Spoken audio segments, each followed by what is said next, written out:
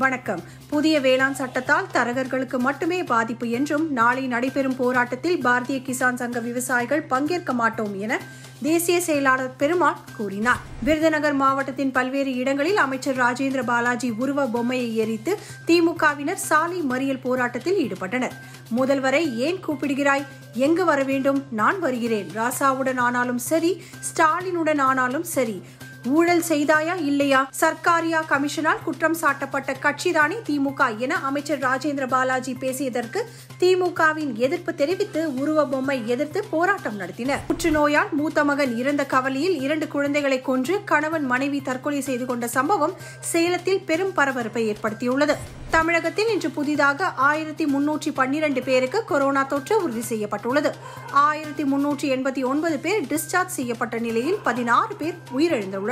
அறத்தின் பக்கம் நிற்பவனை பார்த்து சங்கி பி டீம் என்கிறவர்களின் நோக்கம் ஊழலை போற்றுவது என கமல்ஹாசன் தெரிவித்துள்ளார். விவசாயிகள் போராட்டத்தில் கலந்து கொள்ள சென்ற சமாஜ்வாதி கட்சியின் தலைவர் அகிலேஷ் யாதவ் இன்று லக்னோவில் நூற்றுக்கணக்கான ஆதரவாளர்களுடன் கைது செய்யப்பட்டார். மத்திய ஆளும் பாஜக அரசு புதிதாக கொண்டு வந்த மக்களுக்கு எதிரான மூன்று வேளாண் சட்டங்களையும் திரும்ப பெற வேண்டும் அல்லது பதவி விலக வேண்டும் என்று மேற்கு வங்காள முதல்வர் மம்தா பானர்ஜி கூறியுள்ளார். இந்திய விமானப்படைக்கு சொந்தமான மிக் இருபத்தி ஒன்பது கே ரக போர் விமானம் கடந்த இருபத்தி ஆறாம் தேதி பயிற்சியின் போது கடலில் விழுந்து விபத்துக்குள்ளானது.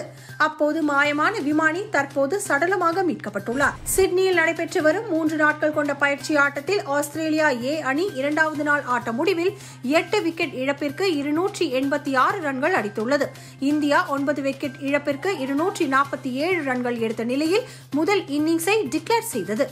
விஜய் சேதுபதி படத்தில் தனது கதாபாத்திரத்துக்கு முக்கியத்துவம் இல்லாததால் நடிகை சமந்தா விலகி உள்ளதாக கூறப்படுகிறது.